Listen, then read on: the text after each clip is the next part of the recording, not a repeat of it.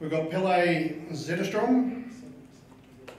He's the Technical Director, uh, Fire Engineering from GHD, which was formerly known as, as Olsson's um, Fire Engineering Risk. So Pelle is an accredited fire safety engineer in Victoria, New South Wales and Queensland, and a Lund, Lund, Lund Engineering alumni, where he obtained his Bachelor of Science in Fire Engineering in 2005. With a wealth of experience from both rescue services and consulting fire engineering, Pelle's working history includes Europe, Middle East and Australia, where he's recently joined GHD as a technical director. So I'd like you to welcome Pelle.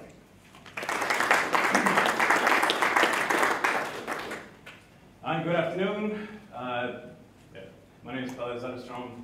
Previously, I was in fire now of GHD Fire. We were acquired a couple of weeks ago. And uh, so 45 man strong, 30 from New Zealand, 15 from Australia, now supporting GHD, which is one of the big drivers doing a little bit of everything. So I'm going to talk a little bit about planning audits in a performance-based environment. I'll try and not hash uh, uh, too much, see if we don't overlap too much. And there's also Dean in the room. I think hopefully I won't steal too much of your thunder. There you are. All right. So, good rule of thumb is when you're doing a presentation, tell your audience what you're going to talk about. So I'm going to do a little bit of a synopsis, uh, introducing ACPs, how we got here, uh, ACPs in design, and auditing existing buildings with ACP, and conclude with a little bit of lessons learned. Picture, absolute courtesy of BBA, meaning I stole it outright. Moving on, brief history, we're now getting into the tell them part. So Lacrosse 2014, Docklands, Melbourne. Uh, I believe it was November, cold November night. Maybe not that cold, but in November, Melbourne, I'm from the other side. Uh, and then 2015, uh, Dubai Torch, uh, another one of the big ones. 2017, Grenfell, uh, 70, 80 dead, still counting, uh, missing people. Um, very, very tragic event. Uh, there are people more qualified than I to talk about both Lacrosse and Grenfell, but if you want to have a chat, I'll be outside. Uh, but that's not the topic of today. Now we're going to see if you've been awake. Has anyone seen this before? That's right. That's Dubai Torch again, two years later. Same type of fire.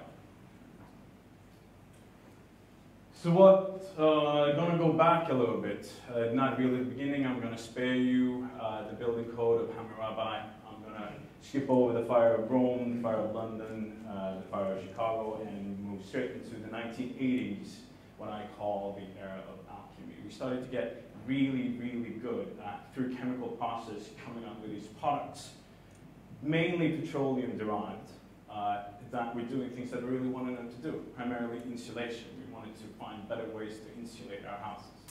So we started to come up with these foam boards, sandwich panels, uh, the polyurethane, polyisocyanurate, expressed polystyrene, expressed polystyrene, extruded polystyrene, and the child of the hour, polyethylene.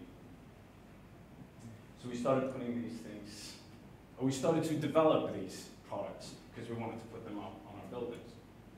Now, something happened in 1988. Anyone? If I say Fox Plaza, it's a red herring, has absolutely no technical relevance. but in 1988, it was the introduction of BRE 135 and test standard 17-6. So in the UK, it was uh, uh, the test standard of fire performance of external thermal insulation for uh, walls in multi-story buildings. And then in the US, we had uh, test standard 17-6, which was introduced in the Uniform Building Code. Uh, we know it today as NFPA 285. So uh, shows a, a cousin of BS 8414, which we've heard about previously today. So and then what? We started in England, Manchester, uh, existing building, concrete walls. We started to put up uh, uh, limited combustibility finishing plank uh, for rain screen and insulation purposes. But, as we've also heard, it had a 90 millimeter cavity gap between the, the wall that we're putting up and the existing concrete wall. Now, a fire started down low, uh, it was in trash, uh, and the fire spread in this cavity gap, uh, all four stories, extremely fast fire. And then also Garnock Court a handful of years later in Scotland. Unfortunately, it was a similar event, existing building, concrete structure, we put limited combustibility, uh, insulation up on the wall. We had another fast fire and one dead. now what came out of this? Uh, building code reforms came out of both of these. For the UK one, there was uh, introduction in the English building codes for the provision or the requirement of a cavity gap. And in the Scottish one, they introduced the equivalent that we have in the BCA, which is the requirement for uh, whatever part you put up on the building is not permitted to cause undue fire spread in the facade. And then in 2002, we saw the dawn of BS 8414, and bringing it around back to us, that's essentially what we adopted in 2016 as AS 5113. So now, we're back here in Australia and the Tasman. So what's happening with the ACP or the MCM um, metal composite materials that we're putting up on our buildings? We have uh, very little news coming out of Darwin or Northern Territory. I've really, really tried, but I'm not finding much. But we have here in New South Wales, uh, I guess essentially we have task forces in each and every state and territory gearing up and doing their own thing and coming up with ways of how we're going to address this. But essentially, I think everyone knows and everyone have identified that we have an issue and that we need to address it, we need to look into it. We're going about it slightly different ways, but everyone wants to come to terms with it. So, I think it's fair to mention the code marks, which have, uh, in Tasmania, they've been withdrawn, uh, a handful of them, a large handful of them have recently been withdrawn, and also a, in Victoria, you're no longer, for a new building permits, you're no longer permitted to rely on code marks for panels that have a polyethylene content, content of 30% or more. Unless you want to go down uh, route with the building appeals board, which you can. So you can still do this, but it's more cumbersome. And to date, to my knowledge, I haven't heard of anyone trying to do this. Uh, Tasmania was a little bit more lucky. Uh, Tasmania, the lucky state. They, uh, they came up with a short handful that have identified we have ACP on our buildings, and then they only narrowed it down to actually only have the one that's really troublesome, and it was a hospital, and they said, you know, it's just the one, let's just do it. So the government sort of preempted what was going on and did it themselves. Uh, so moving on. So what's, what's governing ACPs in design? So there was a little bit of a shift between pre-2016 Amendment 1 and uh, uh, well, what went before, but essentially between 1996 to 2016, there was very little change in requirements for Type A, Type B, uh, your larger buildings, fire, uh, fire-rated construction. So, as we all know, BCA is a performance-based code. The 1996 nationally adopted BCA is a performance-based code. Compliance with the BCA is achieved through compliance with the performance requirements. Compliance with the performance requirements can be achieved either through deemed to satisfy or the performance-based design. There's no hierarchy of the two. DTS is not higher or lower than performance-based design. They sit together side by side. So in order to emphasize this in the 2016 design, they came up with an entirely new picture, changed everything. Code is essentially the same. That was a bit of a joke, you may laugh. So, governing BCA is the performance requirements. Now, the model code, this is a Reader's Digest. Uh, please find your local certifier to give you the full rundown. Uh, so sitting below the performance requirements is the specification C1.1 table 3. We're talking now about type A construction and type A construction only because those are essentially the buildings that are at high risk. We're not looking at, I have not been looking into a lot of buildings of the smaller variety and I think uh, most of the task forces as well have excluded these from their initial run of the buildings that we're looking into. Uh, so specification C1.1 says your external wall must be non-combustible unless it's a laminate, and if your laminate cannot be have more blue than yay, and its surface requirements must also be not too bad. And then it was the sort of catch-all requirement of attachment. You can use the paneling as an attachment subject to uh, also again not having too bad surface requirements and if it doesn't cause under fire spread and if you don't put it too close to an exit so that in the event of fire it makes the exit unusable. Now these were performance-based deemed to satisfy clauses put into a deemed to satisfy building code and they've been in there for quite a while. They, these cost a lot of a lot of people were scratching their heads exactly exactly as to what as to what this meant. But they were still in there.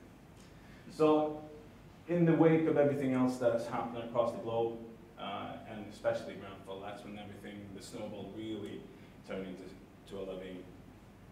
Uh, the amendment that came out in March 2018, 2016 Amendment 1, as uh, Mr. Brooks talked about, we saw the performance requirements hadn't changed, but the need to satisfy requirements had.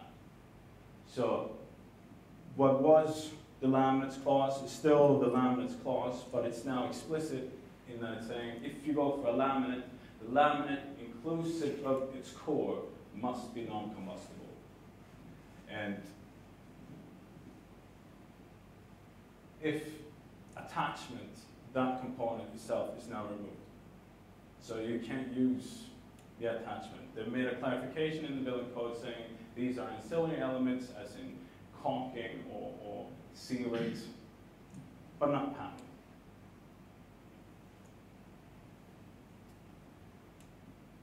So Fire Code Reform Center in the year 2000, 2000 said that these performance-based clauses in the deemed to satisfy code are inappropriate and they should be replaced. This was a, an Australian initiative to look over what's, what's out there. They, they made a number of studies. One of these uh, recommended changes to the building code in 2000. Anyway, so also, naturally, in the 2016 Amendment 1, uh, it's the introduction of verification method CV3. So it's a it deemed to satisfy approach as in tick the box exercises, including a test to AS 5013, uh, and also likely the introduction of sprinklers and cavity barriers, which enables you to find a new means to test your panel system or have a panel system tested or introduced to your building under a deemed to satisfy path. So when we're asked to audit a building, how do we go about this? Typically, it's along the line of, did the building comply with the, with the BC, governing BCA at the time? Now, there's a question here, which is, uh, if meeting BCA, is it also safe? That's a question for, for another time and another room. Uh, I welcome the discussion if you ask industry giants like Jonathan Barnett or, or Blair Stratton, Peter Johnson. They have all uh, opinions on this and they can give you examples on where and why being deemed to satisfy is not necessarily safe. But in terms of these planning audits, I think the benchmark that we must, must, must set now, the starting point is did it comply with the BCA? And if so, if it didn't comply, then does it pose a risk? If it poses a risk, what do we need to do about it? So if it did comply with the governing BCA at the time, it's unreasonable uh, in, in, most of these larger stakeholder uh, discussions to go back and make amendments retroactively. retroactively.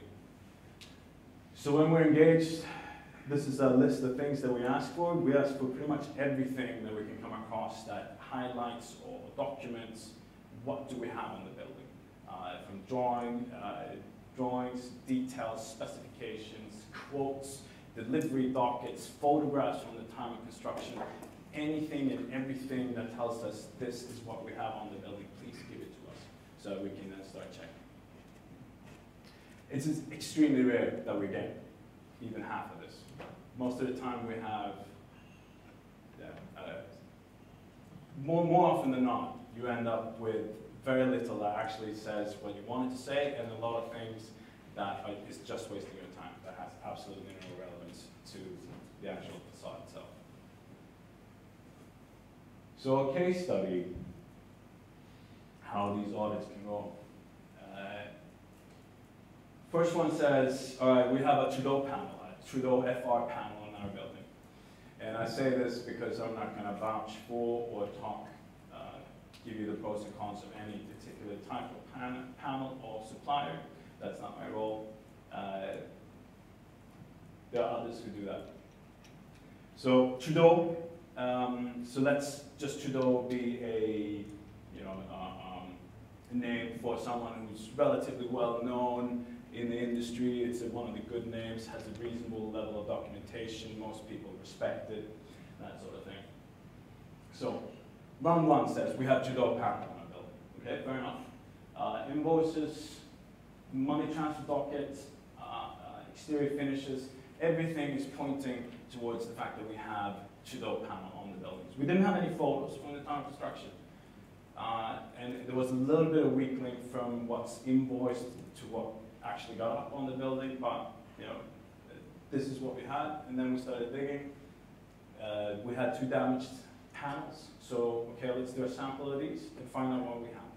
And when we take a sample, we send them off to uh, one of the testing laboratories, and they do a Fourier transform infrared spectro- spectroscopy and also a energy,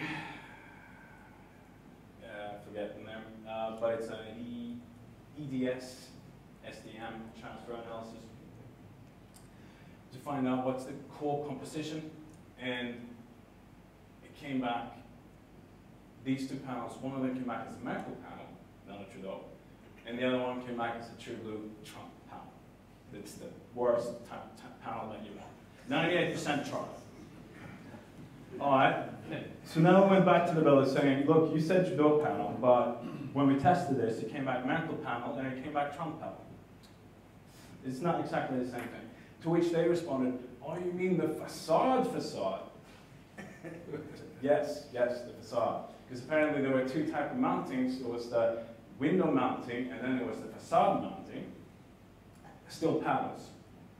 Uh, but anyway, after this confusion, how this was confusing, I do not know. But after this confusion was uh, uh, sorted out, we started getting all kinds of documentation. So now, with a more complete set of documentation, inclusive of photos, we had uh, Trudeau panels and Merkel panels, and also the one road panel. Uh, still Trump, still sitting there, but it's pretty certain it was just a uh, replacement for damaged, damaged panels. Still don't want it. So, case study two, uh, it was supposed to be Merkel panels on the building.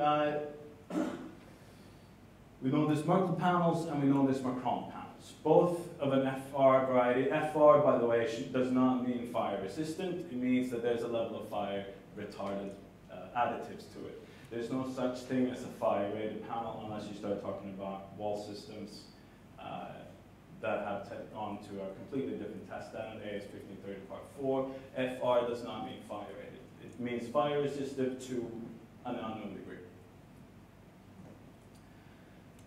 So we had two FR panels. Uh, there was a fire engineering report prepared by one of the uh, well-respected fire engineering consultancies saying that, okay, we know we have these panels, we're putting them on the building, but we still think it's okay because uh, reasons X, Y, Z. And it was used both, both as part of wall, as an attachment, and above exits. And okay.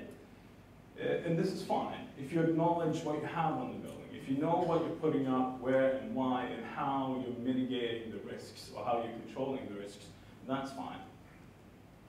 Uh, so we do our first round of digging, and we encounter correspondence showing that there's a mix of glue fixing and mechanical fixing. Now, if you're putting these up and you're going the code mark variety uh, to your uh, level of compliance, then most of these, not all, require that you mechanically fix these panels to the building. So that's deviation one, which then should be, a- if you, that's the route you're going down, then this should be addressed in your performance-based solution. And we're also finding combustible insulation behind the panels. We'll get into that later, but the requirement is for the entire wall system to be non-combustible, not just the panel. And also, up comes the builder saying, look, I know that you asked for chrome panels, but I slipped in some PE panel, uh, some Le Pen panels there as well. Okay? Not Macron, Le Pen, same color scheme. So they were both French, same color scheme. You can't see the difference when they're up on the wall. Um, we, just know that one of them is okay, one of them is what we intended, and the other one is something that we really don't want. And it's just somewhere on this building having the same color scheme. Okay. So it started out good. The design team was aware that these, these things is something that we should be treating with caution. We can't just put them up willy-nilly. We have to do this by the book. And it started, the intention was there. But it was missing some of the documentation, and then, you know, by all means, insert Shergold Weir uh, report recommendation here. Uh, Shergold Weir, uh, if you're not familiar with the document, go out, hunt it down, it's freely available on the web. It's a very interesting read. So, all the auditing these buildings, going back a little bit, past the case studies, uh, the two biggest ones are, are yeah, by virtue of Australia, it's Victoria, it's New South Wales, slightly different ways of going about it. Personally, I think the New South Wales is slightly more nuanced, it's slightly more reasonable, whereas the Victoria one is a little bit more aggressive. Uh, in its tone, perhaps, it goes out and say, uh, we think your building is unsafe, you have 30 days, give or take, to show us as to why you think the building uh, should not, why the pounding should not come down, why the buildings, uh, it doesn't have to be evacuated, why it's safe to still be in the building.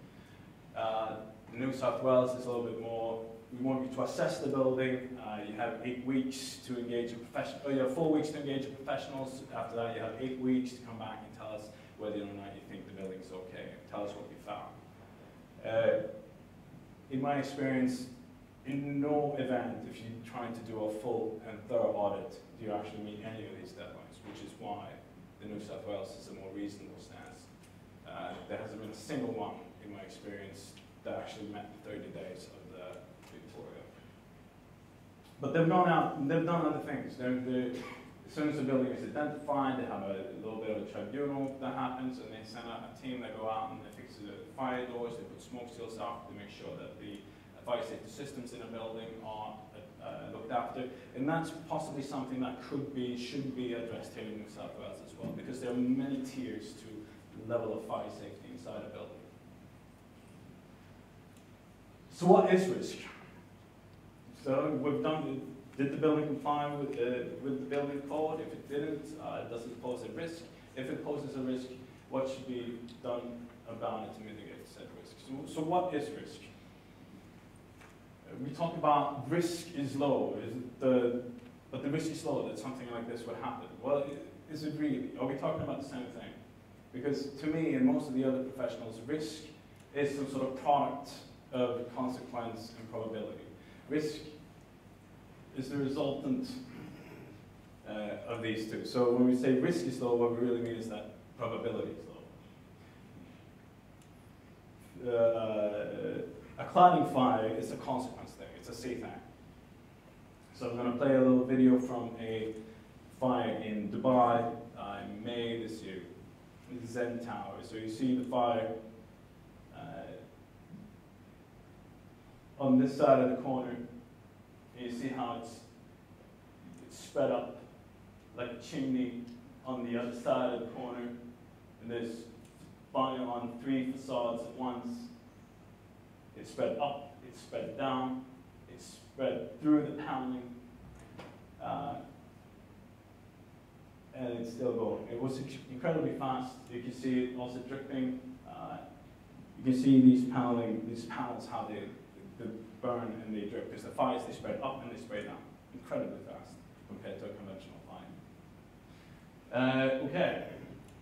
So in the UK, a lot of information came out of the, um, uh, the studies done after Grenfell Tower. BRE did a lot of testing, large-scale testing, not full-scale, large-scale testing. And what came out is that they call their categories one, two, three, where uh, one is the good panel, three is the bad panel. Here in Australia, we did it the other way around. We said A is the bad panel and D is the good panel. So we have a four-panel scale, they have a three-panel scale, going the other way. But what they found was if you, the, the bad panels will perform badly no matter what you do. The good ones will re perform reasonably well no matter what you put behind them. But the ones in between, the FR panels, the typically called FR panels, they will, if you do it right, perform well. If you do it wrong, if you put not, if you put combustible insulation behind it, if you don't put in your cavity barriers, if you put other bad things behind it, they will, they too will perform badly. So, fire risk exposed by the cladding is, is an incomplete question. We need to look at the entire wall system as a whole. You can't just look at the cladding alone. So after you've done all this, after you've established your, your panel type, you've done your sent off your materials for, for core composition testing, you looked at the wall behaviors, uh, you've assessed, is it a code mark, is it deemed to satisfy, is it a performance-based solution? I remember one day I came home, I was feeling really good. I told my wife, feel like a combination of Einstein and, and, and Sherlock Holmes because I've really done my sleuthing, I've done really well. And she enforced me, and I'm still just a bleak copy of Benedict Cumberbatch. He's been there before, he's done it all. And he's taller and he's more blue-eyed than you. Okay, fair enough. so back to auditing these buildings, what's going back to basics is, is what you really must have to do. You have to go back and check. And there's a picture of Wushin, uh, Korea in 2010. The, building was horseshoe shaped. So what happened then is that that channel in, in between the U uh, created a chimney and the fire spread fantastically rapidly. It started to get heat uh, uh, reflecting back and forth in between the buildings. So the fire spread ex extremely fast. So you need to look at, is there anything particular to this building? Uh, every building is different. Is there anything particular to this building which means that I can or cannot use this, this material in this manner? So what are the lessons learned? DTS is an excellent starting point, but it's not the be all and end all. Uh, don't make assumptions, you know, or make as few as you necessarily need to in order to progress. But try and keep your assumptions to a minimum because we all know what assumptions. Don't judge a book by its cover. Don't trust everything you see or hear. Dare to sleuth a little bit and manage expectations, manage time, you know, be, be, be upfront. Because we're all new to this. Every building owner is scared. He may or may not have gone through the motions before. We're all new. We're all trying to upskill. We're all trying to learn. Body corporates just manage expectations. What can and can't be done within the time frame. So putting the puzzle together, you know, your job is to depict things fair and square. What's the story you want to tell? Do you have special lenses through which you see things? Or are you being objectively? Are you being objective? Uh, this is my son, three years old. He's trying to put a puzzle together. And he, he has one of the pieces. He's almost done. He has one of the pieces, and he really, really wants it to go in this particular spot. But it doesn't fit there there are many, many ways of putting one of these audits together, but it may not necessarily be the way that you want it to be. Just try and be as objective as you can. You see yourself told. That was 13. Any questions? What's coming from the previous lecture and yours on awarding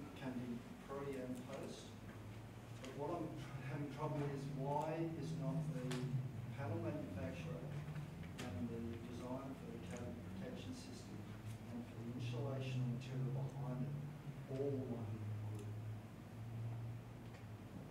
Uh, I'm sorry, what's the, what's the question in there? The so the question being you've got ACP panels. Mm. Now, that's the cladding. Yeah. But what's causing some of these catastrophic fires apart from them being flammable is the chimney effect because of lack of cavity protection, or whatever material is behind that. Mm. So in theory, you've got three different contractors. You don't have one. Yes. Yeah, no, more, more than, more often than not, you have five, seven contractors, you know. Some, some have done, uh, you know, some have done the steelwork, some have done the glazing, some have done the paneling, uh, some have done caulking, uh, and it may have been done over time. Some or may or may not have done the cavity protection or the intumescent or whatever it may be. Uh, more often than not, it's the lacking picture is the lack of cohesiveness, cohesiveness and general oversight, and that's uh, something that Shergold Weir talks a lot about. You know, getting uh, getting that overall responsibility. Who's looking after this? It needs to be not. I have my blinkers on. I'm looking after this. It needs to be a chain with responsibilities interlocking so that all the areas are covered, not not circles inside a square, because then the corners aren't covered. So who is the overall responsibility for, um, entity? Dean, uh, you want to take this one? I'll, uh, I'll jump up next and give the certified view of who's responsible. Yeah. Uh, look, and I, I think that's uh, first and foremost, first in the firing line is the builder. Uh, but then the builder in turn may have, you know, a trickle down effect of contract and uh, responsibilities and subcontractors. And then it comes down to what the contract said and what the specifications said. And it, it can get really hairy. And uh, uh, I think a lot of courts, a lot of courts today and even more tomorrow will try and answer just that question. Uh, The certification, isn't it um, compulsory for the certifier to actually look at the, the wall system while it's being constructed before you can certify the building at the end of the building to know exactly how the thing went together? Uh, And then the responsibility would then sit with the certifier. I'm going to say not necessarily, but that too, I'm going to pass the question itself on to Dean, who's, as a certifier, will give his view uh, up next. But uh, it's not necessarily, is, is my response. You said that um, an entity said in 2000 that the codes were inappropriate, some Mhm. 18 years ago. Fire Code Reform Center, yes. Why the hell would we as consultants get involved in this? Um, so you want me to elaborate on, Why would we as consultants even want to get involved in not assessing, but even looking at this sort of product when 20 years ago it was failed? uh, what Fire Code Reform Center, they did not say 20 years ago, uh, ACP paradigm is bad. You can't use it on a building. What they said was, the way the code's written, it opens for mis, you know, misuse or misinterpretations. So, but it, it was about that time that we started to uh, realize that, especially the PE panels, weren't perhaps the right thing. Some, some of the suppliers started withdrawing their full PE uh, flavor, you know, and selling only the FR flavor at about that time. So, Um, this is obviously a worldwide problem, it's happening in different countries, and you're saying that that in, in England, there's a, in the UK, there's a different code to Australia. Why don't all the countries get together and make one code for the whole world, so this doesn't become a problem, and the knowledge can be shared from country to country to have a a worldwide code, and that way, everybody's up to date, it takes away the risk for the whole world, not just Australia or or Britain. So the, the ISO standards uh, are trying to be global. Uh, the European standards, of course, cover Europe, uh, and then it's a matter of, yeah, well, you can't really, uh, unless you change, you have to change it from the top up, because the building codes and the associated standards, they're, they're intended to work as a suite of codes. You know, uh, together they look at different links of the chain, so to if you start saying, okay, for, for these matters, we're gonna use this code, then you have to start adopting all the links that connect to that other link. So the, the, all the model codes and associated standards work as a unity. So if you start changing the one, um, maybe we're there one day, know. one world, one dream, John and everyone singing happily. Uh, sounds fantastic. Uh, sign me up. Fortunately, not there yet. Uh, Mel, that could have been the Trump panel. Yeah. Thanks, Pelle, thank you very much. Wonderful.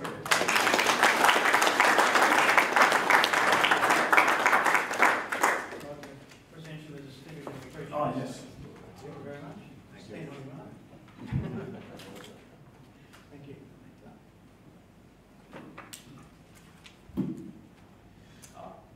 Thank you.